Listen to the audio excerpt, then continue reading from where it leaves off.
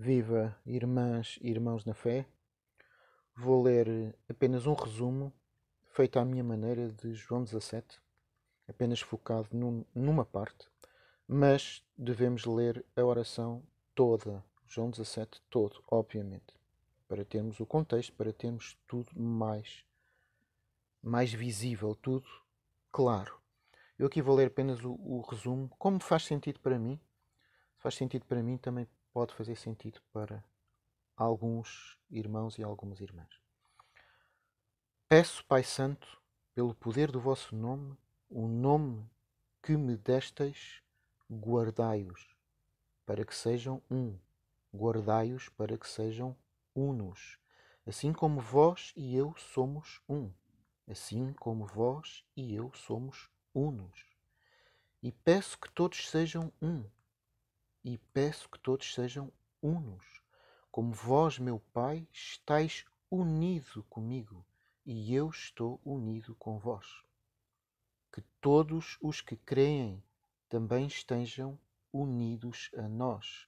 A natureza divina, a natureza gloriosa que vós me desteis, eu a reparti com eles, a fim de que possam ser um, a fim de que possam ser unos, assim como vós e eu somos unos, assim como vós e eu somos um.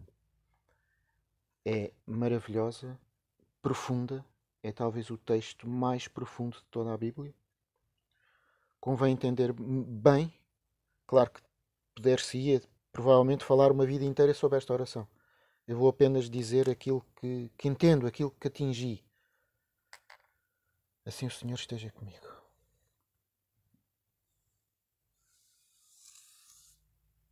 Aqui é um. Apenas um.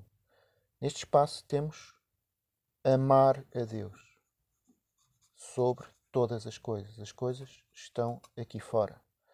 Aqui não há coisas, aqui só há amar a Deus sobre todas as coisas, tudo o que está fora. É esta a unidade do Espírito, pelo vínculo da paz. A paz, a palavra paz, na verdade, é completo. O que é ser completo? Quando nós estamos a amar o Senhor, temos a tal união, estamos unidos. Aí estamos completos, aí temos a verdadeira paz, a paz que Cristo deixou para nós. Quando usamos um pensamento funcional para a nossa vida, usamos pensamentos todo o dia, né? até toda a noite, pensamentos, imaginações, tudo isso, estamos fora da unidade do Espírito manter a unidade do espírito pelo vínculo da paz. Como é que fazemos estes pensamentos virem para dentro? São pensamentos que não podem estar fora de Deus, não podem estar fora da missão que nós temos. Somos cristãos. Divulgamos a Cristo, divulgamos o caminho, divulgamos a fé, ajudamos todos os outros. É assim que trazemos os pensamentos para dentro. Conectar. Conectar, muito importante conectar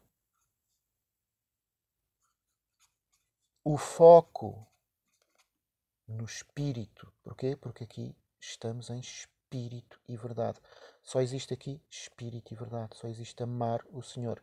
Quando nós temos os nossos pequenos pensamentos da nossa vida aqui dentro, estamos no foco. Porquê? Porque estamos a fazer tudo como uma oferenda ao Senhor, como uma oferta para o Senhor. Aí estamos unos, somos um. Aqui estamos aquilo que se chama divididos, duplos de mente. Aqui é o mundo, estamos cá fora, divididos. O passado, o presente, o que gostamos, o que queremos, o que não queremos, aquilo que nos perturba, aquilo que nos assusta, aquilo que desejamos, aquilo que, que, que queremos, aquilo que perseguimos, aquilo que fugimos. É infinito. Mas só há uma unidade do espírito: amar. Conectar o foco é uma concentração. Esta é a unidade. Assim podemos perceber a vontade do Pai e cumprir no mundo a vontade do Pai, porque estamos unos. Isto é muito importante. Por isso o texto diz que o vosso falar seja não, não, sim, sim. Uma coisa muito pouca, muito pequenina, muito breve. Para quê? Para não estragar a concentração. Isto chama-se firmes no Senhor. Isto chama-se a rocha firme. A rocha firme é imóvel. Imóvel no quê? Amar a Deus sobre todas as coisas. Quando amamos o próximo, se amarmos o próximo e estivermos desconectados de Deus, estamos só a amar o próximo. Mas se amarmos o próximo e estivermos conectados, estamos a amar o Senhor sobre todas as coisas e a amar o próximo. É isto que é ser cristão. Espero que seja uma realidade para todos nós, para todos vós. Assim seja, em nome de Cristo Jesus, em honra de Cristo Jesus, em honra do Senhor Pai Santo e em honra do Espírito Santo Santíssimo do Senhor. Assim seja.